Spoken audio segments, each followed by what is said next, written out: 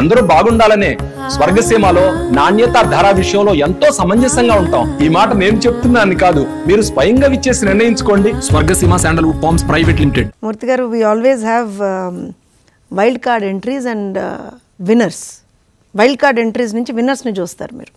అంటే అంటే చాలామంది ఇప్పుడు ఏదో అనుకుంటారేమో కానీ ఈ సర్వేలు ఇవన్నీ వాళ్ళు వచ్చాయి కదా. జబ్ తక్ టీడీపీ నై ఉత్రేగా మైదాన్ మీద బీతకే ఏ సర్వే చెల్లింగే ఒక్కసారి మేము గ్రౌండ్లోకి వచ్చామంటే అన్ని సర్వేలు గోలే. ఎందుకంటున్నానంటే మాకు ఒక హిస్టరీ ఉంది మూర్తి గారు. మేము తెలంగాణ ప్రాంతాన్ని అభివృద్ధి చేశామని మేము చాలా క్లియర్గా కేటగిరికల్గా మేము చెప్పాము మేము చూపించాం. అలానే వాళ్ళ ఇప్పుడు బీఆర్ఎస్లో ఉన్నటువంటి నాయకులే చాలా సందర్భాల్లో చెప్పారు. సో ఇవాళ ఏంటి అని అంటే నేను ఇవన్నీ ఈ రాజకీయాలు ఇవన్నీ కాదు. నేను ఒకటే అడుగుతున్నా. బీఆర్ఎస్లో ఉన్నటువంటి నాయకులను ఒకటే అడుగుతున్నా. మీరు రేపు పొద్దున మేము హ్యాట్రిక్ కొడతాం ఇది కొడతాం అది కొడతాం అని చెప్తున్నారు కదా. Where is your stand two thousand eighteen manifesto ఒకసారి తీసుకుందాం. రెండు వేల పద్దెనిమిది ఎన్నికల మేనిఫెస్టో ఒకసారి తీసుకుంటే మచ్చుకి కొన్ని చెప్తాను నేను. నిరుద్యోగ భృతి ఇవాటి వరకు దాని గురించి ఊసలేదు సొంత స్థలంలో సొంత స్థలం ఉన్నటువంటి అర్హులైనటువంటి పేదలకి ఐదు నుంచి ఆరు లక్షల రూపాయలు. ఇది ఎక్కడో కాదు మీకు కావాలంటే నేను చూపిస్తాను మూర్తి గారు. దిస్ వాజ్ దేర్ మేనిఫెస్టో ఆ మేనిఫెస్టోలో భాగంగా వాళ్ళు ఏం చెప్పారు అంటే సొంత స్థలం ఉన్నటువంటి వాళ్ళకి ఐదు నుంచి ఆరు లక్షల రూపాయలు ఇస్తామని దాన్ని ఇప్పుడు మూడు లక్షలు కుదించారు అది వేరే విషయం. అలానే రాష్ట్ర వ్యాప్తంగా మేము ఫుడ్ ప్రాసెసింగ్ యూనిట్స్ని మొత్తం అన్నిటిని పెట్టేస్తామన్నారు. అలానే తీసుకుంటే ప్రతి ఒక్క వ్యక్తికి హెల్త్ ప్రొఫైల్ మేము రికార్డ్ చేసి తెలంగాణకే ఒక హెల్త్ ప్రొఫైల్ని ఇచ్చేస్తామన్నారు. అలా ఇలా చేసి ఇది నేను మచ్చుకు మీకు నాలుగే చెప్పాను. మొత్తం తీసుకుంటే ఇంకా చాలా ఉన్నాయి. నేను ఏమంటున్నా అంటే సబ్జెక్ట్ మీద మాట్లాడితే వాళ్ళ దగ్గర ఆన్సర్ ఉండదు. మీరు గమనించండి సబ్జెక్ట్ మీద మాట్లాడితే వాళ్ళ దగ్గర ఆన్సర్ ఉండదు. ఇవాళ కాళేశ్వరంలో అవినీతి జరిగిందా లేదా అంటే ఎవరు మాట్లాడరు. మీరు ఇవాళ రోజున బయటకు వచ్చి నిరుద్యోగ భృతి ఎందుకు ఇవ్వట్లేదు మీరు నిరుద్యోగులకి అంటే మాట్లాడరు. పోనీ ఉద్యోగ కల్పన చేస్తున్నారంటే మాట్లాడు అరే రైతులు ఆత్మహత్యలు చేసుకుంటున్నారు తెలంగాణలో ఆల్మోస్ట్ ఎనిమిది వేల మంది రైతులు ఆత్మహత్యలు చేసుకున్నారు తెలంగాణలో రెండు వేల పద్నాలుగు నుంచి ఇయాల్టి వరకు అని అంటే ఒక్కళ్ళు మాట్లాడరు. మళ్ళీ బయటకు వచ్చి నిస్సిగ్గుగా లేదు అసలు తెలంగాణలో రైతులు ఆత్మహత్యలే లేవు. అవన్నీ వేరే వేరే కారణాలతో జరిగిపోయినటువంటివి అని అంటారు. అలానే ఇవాళ కనుక తీసుకుంటే తెలంగాణలో కష్టించి పోరాడి కొట్లాడి ప్రాణత్యాగం చేసి తెచ్చుకున్నటువంటి తెలంగాణలో ఇయాల్టి వరకు కూడా నిరుద్యోగుల ఆత్మహత్యలు నడుస్తున్నాయా నడుస్తలేవా? ఇవాళ ఇంకో విషయం చెప్తాను మూర్తి గారు. సర్పంచుల ఆత్మహత్య యత్నాలు చూడలేదా మనం? నిధులు లేక? అలానే రెండు వేల పద్దెనిమిది ఎలక్షన్లకు ముందర వీళ్ళు ఇలానే మాట్లాడారు. మాట్లాడే ఆ రోజున కూడా ఏమన్నారంటే సరే సెంటిమెంట్ తర్వాత తీసుకొచ్చారు అది వేరే విషయం. కానీ ఆ రోజున ఆర్టీసీ కార్మికుల సమ్మెను మనం అందరం ఎవరూ మర్చిపోలేదు. ఇంటర్ విద్యార్థులకు సంబంధించిన అంశం ఎవరూ మర్చిపోలేదు. మెప్మా ఆర్పీలు మూర్తి గారు. మెప్మా రిసోర్స్ పర్సన్స్ ఎవరైతే ఉన్నారు వాళ్ళు ఆల్మోస్ట్ ఎనిమిది నెలల పాటు సమ్మె చేశారు. మర్చిపోవద్దు మనం అవన్నీ. వాళ్ళకి ఇచ్చినటువంటి హామీలను వీళ్ళు మర్చిపోయినారు. వాళ్ళకి గౌరవ బ్రో వేతనం ఇస్తా అన్నారు గౌరవ ఇది ఇస్తా అన్నారు ఆన్రోరియం వాట్ వి కాల్ అది ఇస్తా అన్నారు రెండు నెలలు ఇచ్చిన మూడు నెలలు ఇచ్చిన అయిపోయింది మొన్న జనవరి నుంచి ఇవ్వలేదు. మొన్న మళ్ళీ వాళ్ళు కొన్ని జిల్లాల్లో మళ్ళీ స్టార్ట్ చేసినారు. అట్లానే మనం కనుక తీసుకుంటే ఇవాళ మనం ఇంత మాట్లాడుతున్నాం కదా రోడ్ల మీద ఎవరున్నారు మూర్తి గారు? అంగన్వాడీలు రోడ్ల మీదనే ఉన్నారు.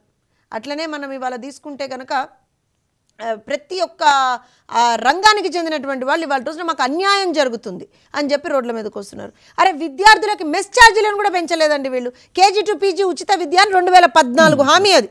రెండు వేల పద్నాలుగు. ఎక్కడ కట్టిండ్రు చెప్పండి? ఒక్క గంభీర్రావుపేటలో ఒక్కటి కట్టిండ్రు. పది సంవత్సరాల్లో ఒక్కటి కట్టి అయిపోయా మేము చేసేసినాం అన్నారు. ఇవన్నీ మాట్లాడద్దా మనం? ఇవన్నీ ఎవరు మాట్లాడకూడదు. ఏం మాట్లాడాలయ్యా అని అంటే ఒకటే మాట్లాడాలి. అగో మేము ఫ్లైఓవర్లు కట్టినాం. ఒక నాలుగో ఐదో ఆరో ఏమో ఫ్లైఓవర్లు కట్టినాం. లేకపోతే మేము నెలకింత పెన్షన్లు ఇస్తున్నాం. దాని గురించి మాట్లాడండి. లేకపోతే కళ్యాణ లక్ష్మిలు ఇస్తున్నాం. దాని గురించి మాట్లాడండి. లేకపోతే అదేంటిది రైతు బంధు ఇస్తున్నాం. దాని గురించి మాట్లాడాలి. ఇంతే. అంతేగాని రైతులకు మీరు చేయాల్సినటువంటి రుణమాఫీ ఏదైతే మీరు చేయలేదు ఇవాళ లాస్ట్ మినిట్లో ఏదైతే తీసుకొచ్చి మేము చేస్తున్నామని అంటున్నారో దాని గురించి ఎవరు మాట్లాడకూడదు. ఇవన్నీ మాట్లాడితే తెలంగాణ ద్రోహులు అయిపోతారు ఇంకా పది సంవత్సరాల తర్వాత కూడా పది సంవత్సరాల పాటు మీకు తెలంగాణ మీరు పాలించండి. తెలంగాణ స్వపాల ఏదైతే స్వపాలన అని చెప్పి మాట్లాడుతున్నారో దాన్ని చేయండి. ప్రజలకి మంచి చేయండి అంటే ఇంకా కూడా వీళ్ళు మాట్లాడేవి ఏంటిదయ్యా అంటే ఇంకా సెంటిమెంట్లే తీసుకొస్తారు. ఇవాళ కూడా ఒక ఇష్యూ నడుస్తూ ఉంటే దాన్ని పట్టుకొని వీళ్ళు రెండు ప్రాంతాల మధ్య సమస్య అని అంటారు. ఇవాళ నేను ఒకటే చెప్తున్నా మూర్తి గారు ఇన్ని మాట్లాడుతున్నటువంటి వీళ్ళందరికీ కూడా రెండు వేల పదహారు జిహెచ్ఎంసీ ఎన్నికల పోల్ ప్రామిస్. ఏంటిది అది డబుల్ బెడ్రూమ్ ఇల్లు. రెండు వేల పదహారు నుంచి ఇప్పుడు మనం రెండు వేల ఇరవై మూడులో ఉన్నాం. ఎన్ని లక్షల డబుల్ బెడ్రూమ్ ఇళ్ళు మీరు నిర్మించారు? ఎన్ని లక్షల డబుల్ బెడ్రూమ్ ఇళ్ళు? యాక్చువల్గా మీరు అసలు ఫస్ట్ ఎన్ని ప్రామిస్ చేశారు? ఎన్ని నిర్మించారు? ఎన్ని ఇచ్చారు? ఎన్ని ఇవ్వకుండా ఎప్పుడో కంప్లీట్ అయినా కూడా ఎందుకు ఎన్ని ఇవ్వకుండా అట్లా మీరు పెట్టారు? ఇవన్నీ అడగద్దా మనం? మొన్న బీసీ బంధన్ ఒకటి తీసుకొచ్చారు. దానికి సంబంధించినటువంటి రూల్స్ రెగ్యులేషన్స్ అన్నీ ఇయ్యక ముందరే మేము ముప్పై మందికి ఇచ్చేసామని చెప్పి ఫోటోలు చూపించారు మనకి. తప్పని చెప్పేది? రూల్స్ రెగ్యులేషన్స్ ఇచ్చారు. ఎట్లా రూల్ ఏంటి అని అంటే మీరు అప్లై చేసుకుంటే ఒక ఇరవై రోజుల తర్వాత దానికి సంబంధించి ఇరవై రోజుల పాటు స్క్రీనింగ్ అయిన తర్వాత ఇరవయో రోజో ఇరవై ఒకటో రోజో ఆ జిల్లాకి సంబంధించినటువంటి అధికారులు దానికి సంబంధించిన ఒక లిస్ట్ ఇవ్వాలండి. ఏ రోజైతే వీళ్ళు స్కీమ్ అనౌన్స్ చేశారో ఆ రోజే ఆల్మోస్ట్ అన్ని జిల్లాల్లో వాళ్ళు ఇచ్చేశారు. బీసీ బంద్ ఇచ్చేశారు అయిపోయింది. అట్లానే ఏమన్నారు? మైనారిటీ బంద్ ఇచ్చామన్నారు. మైనారిటీ బంద్ కూడా ఏమంటారు అంటే అయ్యయ్యో అప్పుడెప్పుడో రెండేళ్ళ క్రితం అండి మేము పెట్టినామండి అందులో కొంతమంది అప్లై చేసుకున్నారండి వాళ్ళకే ఇస్తున్నామండి అంటారు. అంటే ఇవన్నీ అంటే నేను ఇవి ఎందుకు మాట్లాడుతున్నా అంటే Murthy garu they are fooling the people of Telangana. ప్రజలని దయచేసి మోసం చేయవద్దు. ఒక ఉద్యమ నాయకుడుగా ఉద్యమ పార్టీగా ప్రజలు మీకు రెండు సార్లు అవకాశం ఇచ్చిండ్రు.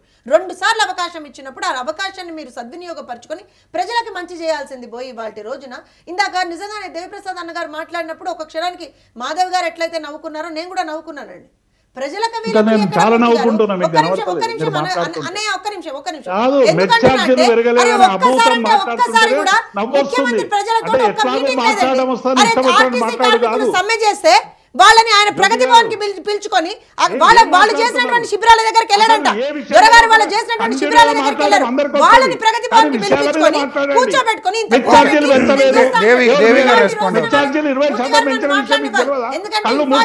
ఆర్టీసీ కార్మికుల సమస్యలు అట్లనే ఉన్నాయి. అట్లనే ఉన్నాయి. కాదని మీరు చెప్పవద్దు. దయచేసి ఆ రోజున నేను ఎందుకు అంటున్నా అంటే ఆ రోజున మేము ఉన్నాం కదా. మేము. వెళ్ళినాం కదా. ప్రతి శిబిరానికి. మేము వెళ్ళినాం కదా. ఆ రోజున మరి శిబిరానికి వెళ్ళలేదండి? ఎందుకు వెళ్ళలేదు ఓకే.